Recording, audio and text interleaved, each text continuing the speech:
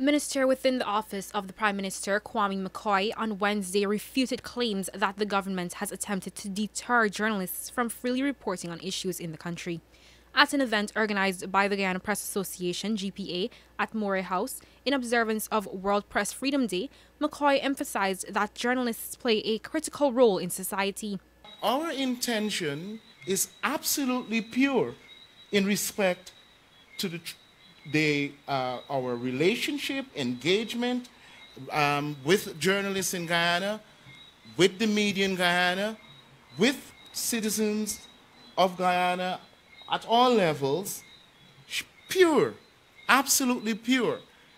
Because for us, it is only by maintaining the type of civil and, and relationship of respect that we can be able to move our society forward and not only forward, but to do it and to do so very quickly and to get to the place, the ideal place that we all dream of.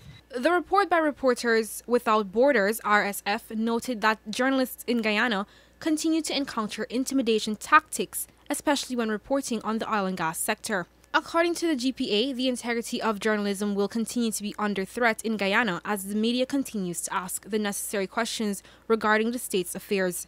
Nevertheless, the GPA president, Nazima Raghubir, reminded that the media must continue to create awareness about the other human rights and fundamental freedoms that Guyanese are entitled to. This year, World Press Freedom Day is being observed at a time when there appears to be a creeping intolerance to media that seek answers, especially from the political directorates across the Guyana's major political divide. The resort to defaming the character of journalists on a politically aligned social media page or the expletive-laced response to journalists are themselves a violation of Article 12 of the United Nations Declaration of Human Rights that protects people against attacks upon their honor and reputation.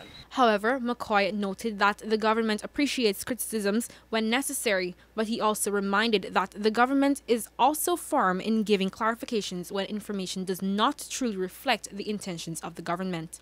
The bottom line is that we always recognize that we have to be able to accept criticism. There's no, absolutely no problem with that.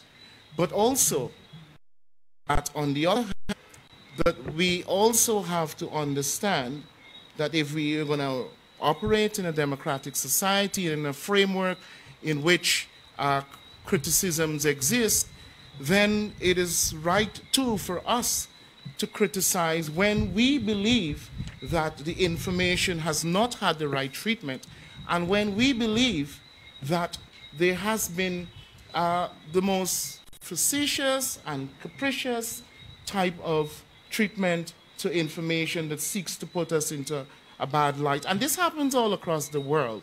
President Dr. Irfaan Ali also reaffirmed the government's commitment to respect press freedom. In a press release, the president said the press has been and must continue to be a staunch defender of the right to life and liberty. This year's World Press Freedom Day was observed under the theme Shaping a Future of Rights, Freedom of Expression as a Driver for All Other Human Rights. Reporting for the newsroom, I am Luzina Yearwood.